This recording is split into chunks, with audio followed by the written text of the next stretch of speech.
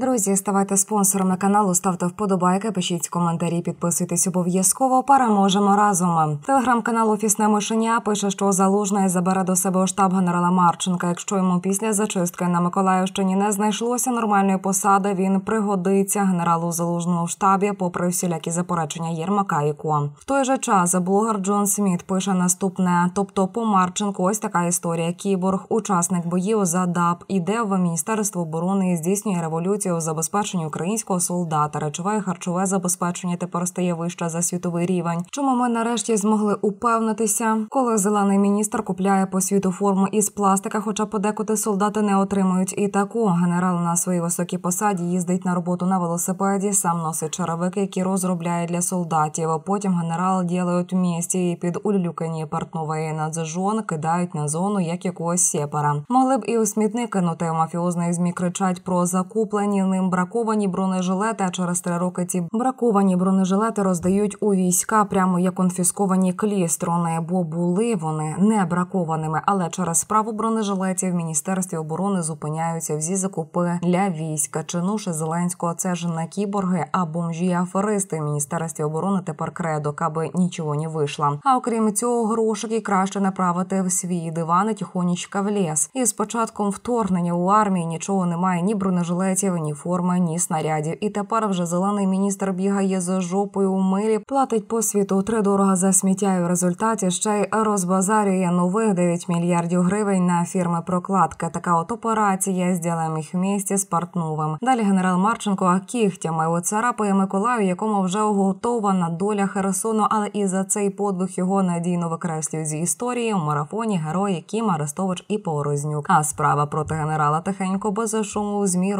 розвалюється в кінці. Заставу зібрану українцями і Порошенком повертають Порошенко, і той купляє на неї волонтерку. Бо у 2023-му українці змушені скидатися на все, бо влада афористів розікрала країну, не даючи хуцпі зробити собі баки. Ви для безуглої стаєте поргоскотом. Саме за це вони вас і закликають знищити. До зустрічі, друзі. Ставте вподобайки, пишіть коментарі, підписуйтесь на канал. Переможемо разом.